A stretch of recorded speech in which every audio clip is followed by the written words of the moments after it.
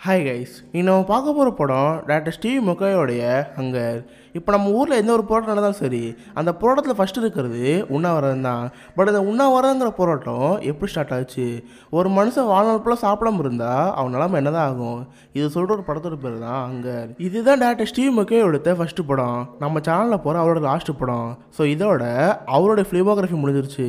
And அது மட்டும் இல்லாமல் இந்த படம் ஆயிரத்தி தொள்ளாயிரத்தி எண்பத்தொன்னில் ஐரிஷ் நாட்டில் வாழ்ந்துட்டு இருந்த பாபி சான்ஸுங்க ஒரு நபரை பற்றின கதை. ஸோ இந்த கதைங்கிறது ஜெயிலில் நடக்கிற சில சித்திரவாதி சம்மந்தப்பட்டது அது போக இந்த படம் ரொம்ப டிஸ்டர்பிங்காக இருக்கும். அதனால நேரத்தில் ரொம்ப வாந்தி வர மாதிரிலாம் இருக்கும். ஸோ அதனால் யார் யாருக்கெல்லாம் இந்த மாதிரி படம்லாம் பிடிக்காதோ அவங்க அந்த படம் ஸ்கிப் பண்ணலாம். சரி இப்போ வாங்க ஹங்கருங்கிற இந்த கதைக்குள்ளே போகலாம் ஃபஸ்ட்டு இந்த கதைக்குள்ளே போகிறதுக்கு முன்னாடி இது எதுக்காக நடக்குது? இந்த ஹிஸ்ட்ரி படி தெரிஞ்சுக்கிட்டால் மட்டும்தான் இந்த கதை நமக்கு புரியும். பிரிட்டிஷ்காரர் எப்படி நம்ம நாட்டை ஆட்சி பண்ணானோ அதே மாதிரி ஐரிஷ் கண்ட்ரி பிரிட்டிஷ்காரன் தான் ஆட்சி பண்ணிட்டு இருந்தான். ஸோ அந்த நாட்டில் சுதந்திரத்துக்காக போராடின வீரர்களை ஜெயிலு தூக்கி போட்டாங்க. அது யூஸ்வல் நடக்கிறது? தான் பட் அவங்க சுதந்திர போராட்ட தகையத்துக்கு உள்ளே போடாமல் ஒரு குற்றவாளி மாதிரி அதாவது திருநெல் எப்படி தூக்கி ஜெயிலில் போடுவோம் அந்த மாதிரி குற்றம் ஃபைல் பண்ணி அவங்கள தூக்கி ஜெயிலில் போடுறாங்க. இதனால் அவங்களுக்கு நிறைய இழப்புகள் வரும். இவங்க பண்ணுற தியாகங்கள்லாம் ஒரு மாதிரி கேவலமாக இருக்கும். இவங்களுக்கு அடுத்த வர தலைமுறைகளுக்கு அது எந்த ஒரு பலனும் அளிக்காது.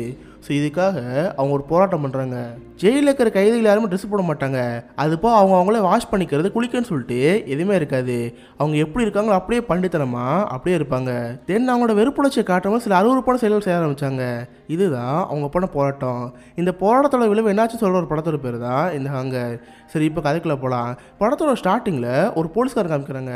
அவன் ட்ரெஸ்ஸு போகிற விதமாக இருக்கட்டும் சாப்பிட்ற விதமாக இருக்கட்டும் சொல்லிட்டு எல்லாத்துலேயுமே ஒரு ஹைக்கஸ் பீப்புள் மாதிரி இருக்கான். இப்போ வேலைக்கு போன கிளம்பி போகிறான் அப்போ காரை செக் பண்ணி பார்க்குறான். அவன் கார் கீழே பாம்பு தான் இருக்கான்னு செக் பண்ணி பார்க்குறப்ப அப்படி எதுவுமே காணும். வெளியே இருக்க தெருவுக்குள்ள யாராவது இருக்காங்கன்னு பார்த்துட்டே இருக்கான். ஏன்னா இவன் ஒரு போலீஸ்காரன்? ஸோ இந்த ஐரிஷ் கண்ட்ரியில் யார் யாரெல்லாம் சுதந்திரத்துக்காக போராடுறாங்களோ அவங்களுக்கு ஜெயிலில் போட்டுருவாங்க. அவங்கள ஜெயிலில் அடிக்கிற ஒரு ஆள் இந்த போலீஸ்காரன். ஸோ இன்றைக்காவது மட்டினா கொண்டே போட்டுருவாங்க. அதுக்காக தினமும் பயந்து பயந்து வாழ்ந்து அவன் போயிட்டுருக்கான் இப்போ ஒரு வழியாக அந்த ஜெயிலுக்கும் போயிட்டான். பட் உனக்கு ஆக்சுவலாக அந்த வேலை பிடிக்காதுன்னு கேட்டால் அப்படி கிடையவே கிடையாது. பட் இந்த சைடு இருந்தால் மட்டும்தான் இவனால் உயிர் பழைக்க முடியும். ஸோ அந்த ஒரு காரணத்துக்காக ஒரு போலீஸ்காரனாக இருக்கான்.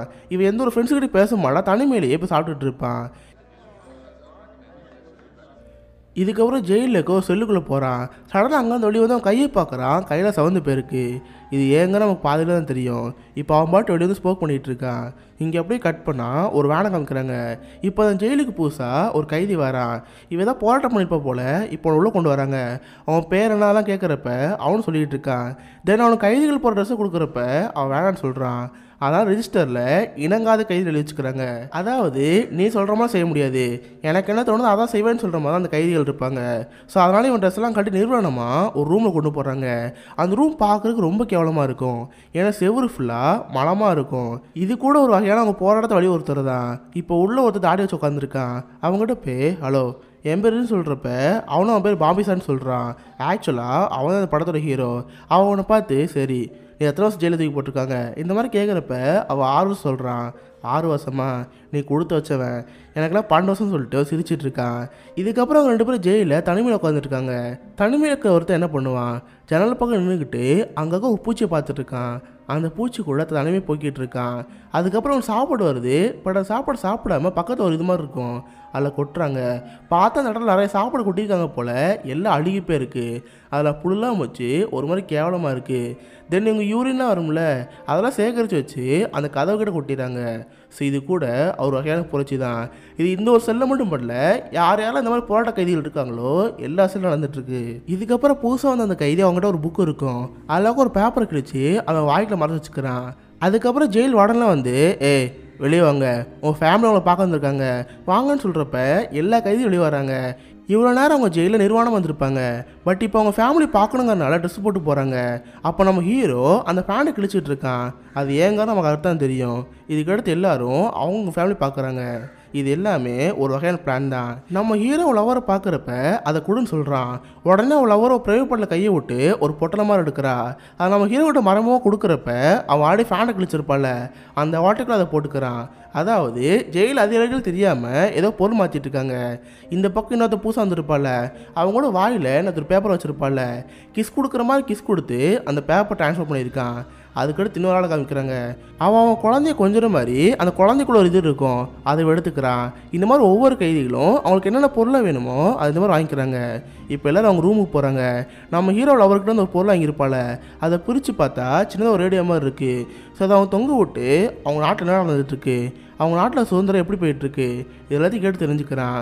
இதுக்கடுத்து இன்னொரு புது கைதி இருக்கால அவள் அதை விரித்து பார்க்குறான். உள்ள அவள் லவர் ஃபோட்டோ இருக்குது அதை பார்த்து நைட்டு மேஷ் பண்ணிகிட்ருக்கான் இருக்கான். இப்படி தான் அந்த ஜெயில் கைதிகளோட வாழ்க்கை போயிட்டுருக்கு. இப்படி சில மாதங்கள் போகிறப்ப சில போலீஸ்காரங்களாம் வராங்க. அவங்கள போய் செம பயந்து போயிடுறாங்க. ஏன்னா இப்போ உங்களை அடிக்க போகிறாங்க இவங்க பல மாதங்களா குளிக்க மாட்டேன் பல் விளக்க மாட்டேன் முடி வெட்ட மாட்டேன் நான் எதுவுமே பண்ண மாட்டேன். இந்த மாதிரி சொல்லி சொல்லி ரொம்ப அழுக்காக இருப்பாங்க. ஸோ இவங்க போராட்டத்தை புறக்கணிக்கிற மாதிரி வற்புறுத்தி அவங்களை க்ளீன் பண்ண போகிறாங்க அதுக்காக இப்போ யாரை கூப்பிட போகிறாங்கன்னு தெரில எல்லாரும் பயந்து நிற்கிறப்ப நம்ம ஹீரோ கூட்டிகிட்டு போகிறாங்க நம்ம ஹீரோ வரமாட்டேன் வரமாட்டேன் சொல்லிகிட்டு இருக்கான். அவனை போட்டு அடியே நடிக்கிறாங்க. அவனை அடிக்கிற அதிகாரி யாருன்னா படத்தோட ஸ்டார்டிங்கில் ஒரு போலீஸ்காரன் காமிச்சிருப்போம்ல அந்த போலீஸ்காரன் தான். அவன் நம்ம ஹீரோ மூஞ்சி மூஞ்சா குத்திட்டு இருக்கான். அப்போ நம்ம ஹீரோ லைட்டை வளைக்கிறான். அப்போ அங்கே இருக்கிற ஒரு செவத்தில் குத்திடுறான். இதனால தான் படத்தோட ஸ்டார்டிங்கில் அவன் கையை க்ளீன் பண்ணுறப்ப கையில் ரத்தமாக இருந்திருக்கும் இப்போ நம்ம ஹீரோ வற்புறுத்தி பிடிச்சி அவனை படுக்க வச்சு அவன் முடிய கட் பண்ணி விட்றாங்க அதுக்கப்புறம் ஒரு பாட்டிலில் படுக்க போட்டு சாக்கடை எப்படி க்ளீன் பண்ணுவாங்க? அந்த மாதிரி முதுகில் க்ளீன் பண்ணிகிட்டு இருக்காங்க. இப்போ எல்லாம் பண்ணி முடிச்சுட்டு அவனை வேற ஒரு போட்டுறாங்க. இவ்வளோ நாளாக நம்ம ஹீரோ இந்த செல்லுங்க ரொம்ப நாத்தமாக இருந்திருக்கும். அவன் செவ்வறு ஃபுல்லாக ஷிட்டாக ஓட்டு வச்சிருப்பான் இப்போ அந்த ஷிட் எல்லாத்தையும் க்ளீன் பண்ணிகிட்டு இருக்காங்க. இப்போ நம்ம ஹீரோ வேற ஒரு செல்ல அடைக்க போடுறான் இந்த மாதிரி ஒவ்வொரு கையிலே கொண்டு போய் அவங்கள வற்புறுத்தி அவங்க போராட்டத்துக்கு எதிராக பண்ணிகிட்டு இருக்காங்க. இப்படி சில நாட்கள் போயிட்டுருக்கு இது போக மாதம் மாதம் அவங்க ஒரு ப்ரேயர் நடந்துட்டுருக்கோம் பட் எவனும் அதெல்லாம் கண்டுக்க மாட்டான். ஒவ்வொரு கைதியும் அவன் பேசிகிட்டு இருப்பான். டேய் நம்ம நாட்டில் இது போயிட்டு இருக்கான்டா. புரட்சி இப்படி இருக்காண்டா? ஒவ்வொருத்தரும் மாற்றி பேசுகிறப்ப அந்த ஃபாதருக்கு செம்ம கடுப்பாயிரும். இப்போ நம்ம ஹீரோ பக்கம் அவங்க அப்பா அம்மா அங்கே இருக்க ஜெயில் வார்டன் யாருக்குமே தெரியாமல் அவங்க அப்பா மட்டும் இருந்து ஒரு இது வாங்கிக்கிறான். இதுக்கப்புறம் நம்ம ஹீரோ அவன் செல்லுக்கு போகிறான் அந்த பேப்பர்லாம் முடிச்சு இவன் சிகரெட் யூஸ் பண்ணிட்டு இருக்கான். நாளுக்கு நாள் இவங்க ஜெயிலில் பண்ணுற அந்த போராட்டங்கிறது வெளியே இருக்கிற மக்களுக்கு ஒரு மிகப்பெரிய போராட்டம் மாறிட்டு இருக்கு. மக்கள்லாம் அவ்வளோ போராட்டம் பண்ணிட்டு இருக்காங்க. இதனால பிரிட்டிஷ் கவர்மெண்ட் ரொம்ப பயந்து போயிருக்காங்க. இப்போ இந்த போராட்டம் தடுத்து நிறுத்தணும்னா உள்ளுக்கு அந்த ஜெயிலுக்கு தடுத்து நிறுத்தணும். இதுக்காக இவங்க பிளான் பண்ணுறாங்க எல்லா கையிலையும் கொண்டு வந்து அவங்க ட்ரெஸ்ஸும் கொடுக்குறாங்க. இவங்களும் ட்ரெஸ் வாங்கிட்டு போகிறாங்க ஆக்சுவலி வெளியோட அனுப்பிச்சிருப்பாங்க பட் வெளியே உடம்பு திருப்பி உள்ள அனுப்பிடுறாங்க. இதனால் கைதிகள் செம்ம கடுப்பாயிருது. எங்கள் ட்ரெஸ்ஸு போட வச்சு எங்கள் போடுறது எதுக்கு பார்க்குறியா? எங்களால் முடியாதுன்னு சொல்லிட்டு எல்லாத்தையும் அடித்து உடச்சிட்றாங்க. இதனால் பிரிட்டிஷ் கவர்மெண்ட்டுக்கு ஒரு வழி தெரில அவங்க ஃபோர்ஸில் இருக்கிற எல்லா போலீஸும் கொண்டு வந்து ஜெயிலில் இருக்கிறாங்க எல்லா கைதியும் வெளியே கொண்டு வந்து சரமாக அடிச்சிட்டு இருக்காங்க. ஏன்னா ஏதோ ஒரு வகையில் கைதிகளுக்கு அவங்கள பார்க்க வரவங்களுக்கு ஒரு பரிமாற்றம் நடந்துட்டுருக்கு ஸோ அதுக்காக எல்லாரையும் பிடிச்சி அடியும் அடிச்சிட்டு இருக்காங்க. அவங்க வாயெல்லாம் பிறந்து டே உள்ள பேப்பர் வச்சிருக்கியா? இந்த மாதிரி செக் பண்ணி பார்க்குறப்ப உள்ள எதுவுமே கிடையாது. அவங்கள போட்டு அப்படி கொடூரம் அடிக்கிறாங்க. கிட்டத்தட்ட ஒரு கைதிங்கிறவன் பத்து போலீஸோட தருமடி வாங்குவான். அந்த அளவு கொடூரமாக பிரிட்டிஷ் கவர்மெண்ட் அவங்கள போட்டு அடி அடிச்சிட்டு இருக்காங்க.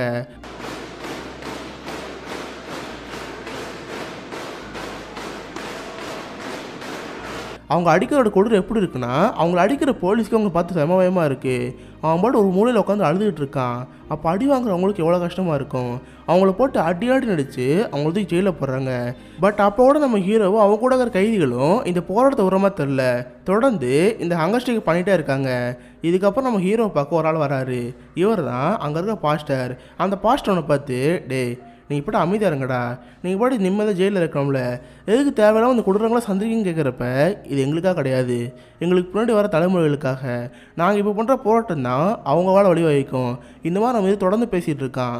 கிட்டத்தட்ட இதுவே ஒரு இருபது நிமிஷம் லாங் ஷாட்டாக இருக்கும். இங்கே அப்படியே கட் பண்ணால் அந்த போலீஸ்காரங்க காமிக்கிறாங்க. ஆக்சுவலாக இப்போ ஜெயிலில் ஒரு மிகப்பெரிய கலவரம் நடந்துச்சுல. அது காரணமாக நாளை வந்தான் ஸோ இவன் விடக்கூடாதுன்னு சொல்லிட்டு அவங்க நாட்டு மக்களாக இருக்காங்க. இப்போ இவனும் அங்கேருந்து அவங்க அம்மா பார்க்க போகிறான் ஆக்சுவலாக அவங்க அம்மா ஒரு முதியோர் இல்லத்தில் இருக்காங்க. அவங்கள பார்க்கலாம் நாங்கள் போகிறப்ப அங்கே ஒரு ஆள் வரான். அந்த போலீஸ்காரனை அங்கேயே சுட்டு கொள்ளிடுறான் உண்மையாகவே ரியல் லைஃப்பில் சம்பவம் நடந்தப்போ நிறைய போலீஸ் சுட்டுக்கொள்ள போட்டாங்க யார் யாரெல்லாம் எங்கள் நாடு சுதந்திர போராட்டத்தில் அடிக்கிறீங்களோ அவங்களுக்கு சாவு தான் இந்த மாதிரி தான் அந்த மக்கள் நிலைப்பாடு இருந்துச்சு. இப்போ நம்ம ஹீரோ அவன் அங்கஸ்டேக்கு ஸ்டார்ட் பண்ணிட்டான். நம்ம ஹீரோ மட்டும் ஸ்டார்ட் பண்ணல அவங்க கூட சில சில கைதிகள் இருக்காங்க. கிட்டத்தட்ட பன்னெண்டு பேர். இந்த நாட்டுக்கு சுதந்திரம் கிடைக்கிற வரைக்கும் நாங்கள் சாப்பிட மாட்டோம். இந்த மாதிரி சொல்லி சொல்லி ஹங்கஸ்டேக்கில் இருக்காங்க. இதனால ஹீரோ ரொம்ப பாதிக்கப்படுறான். ஃபஸ்ட்டு அவள் கிட்னி ஃபெயிலியர் ஆகுது. தென் லோ சுகர் ஆகுது. அதுக்கப்புறம் அவன் கண் பார்வை போகுது. இந்த மாதிரி போக போக அவன் உடம்பு ஒரு மாதிரி மாறிட்டுருக்கு நம்ம ஹீரோ அப்படியே கட்டில் படுத்துருக்கான். தினமும் அவனுக்கு வகை வகையாக சாப்பாடு வருது. பட் ஒரு நாள் சாப்பிடாம அப்படியே அமைதியாக இருக்கான். டெய்லி எவ்வளோ சாப்பாடு மாறினாலும் ஒரு தண்ணி கூட குடிக்கிறதில்ல நம்ம ஹீரோ அப்படியே இருக்கான். போக போக உடம்புல ரொம்ப புண்ணாயிட்டு இருக்கு. அவன் கையை தொட்டு பார்க்குறான். எலும்பு அப்படியே தெரியுது. பட் நாட்டோட சுதந்திரத்துக்கு முன்னாடி இதெல்லாம் ஒன்றும் இல்லை. இந்த மாதிரி நினச்சி நம்ம ஹீரோ அப்படியே இருந்துட்டு இருக்கான். இப்படியே சில நாட்கள் போயிட்டுருக்கு. போக போக நம்ம ஹீரோட எந்திரிக்க கூட முடியல. அவன் டாய்லெட் போனால் கூட ரத்தமாக வந்துட்டுருக்கு. நடந்து கூட போக முடியாமல் டாக்டரை தூக்கிட்டு போயிட்டு வந்துட்டு இருப்பாரு நம்ம ஹீரோ அப்படியே வாழ்ந்துட்டுருக்கான். அவன் கண்ணு முன்னாடி அவ்வளோ கொடூரம் வந்துட்டு போயிட்டுருக்கு.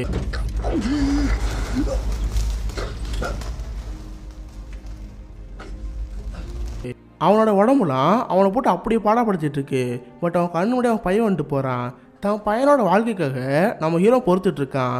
ஒரு நாள் எழுந்து நடக்கலான்னு பார்க்குறான் அப்படியே துபகடம் கீழே விழுந்துடுறான். அவனால் பொருள் வீட்டோடு தாங்க முடியல. அதனால் அவன் மேலே ஒரு கூட மாதிரி வைக்கிறாங்க அதுக்கு மேலே பொறி வச்சு நம்ம ஹீரோ படுக்க வைக்கிறாங்க பட் போக போக அவன் ரொம்ப சீரியஸாக மாறிட்டு இருக்கான் கடைசியாக அவனை பார்க்க அவங்க அம்மா வராங்க. அவங்க அம்மா அவங்ககிட்ட பேசலாம்னு பார்க்குறாங்க பட் அது கூட அவன் காதில் கேட்க முடியுது அவங்க அம்மாவை கடைசியாக பார்க்க முடியாத நிலைமையில கூட இருக்கான். இப்படியே அவன் அங்கேயே செத்து போயிடுறான். நம்ம ஹீரோட அம்மா அப்பாவும் அவன் போனதை அங்கே கொண்டு போயிட்டுருக்காங்க. இதோட ஹங்கருங்கிற இந்த படம் முடியுது. கிட்டத்தட்ட நம்ம ஹீரோ அறுபத்தாறு நாள் சாப்பிடாம இருந்தான். அறுபத்தாறு நாள் சாப்பிடாம இருந்தனால செத்து போயிட்டான். இந்த போராட்டத்தில் நம்ம ஹீரோ மட்டும் சாகலை. நம்ம ஹீரோ மாதிரி ஒரு ஒம்பது பேர் இருந்திருக்காங்க. அவங்களும் இந்த மாதிரி ஹங்கர் ஸ்ட்ரைக் இருந்து அவங்களும் இறந்து போயிருக்காங்க. இதே நேரத்தில் அந்த போலீஸை செத்து போயிருப்பார்ல அந்த மாதிரி ஜெயிலில் இருந்த பதினாறு போலீஸை அந்த நாட்டு மக்கள் கொலை பண்ணியிருக்காங்க. அந்த நாட்டு மக்களோட போராட்டத்தை பார்த்த பிரிட்டிஷ் கவர்மெண்ட்டும் அவங்க விடுதலை தந்துட்டாங்க. அவங்களோட போராட்டத்துக்கு நல்ல ஒரு ரெகனேஷன் இருந்தாங்க இதுதான் இஸ்ரேல் நடந்தது.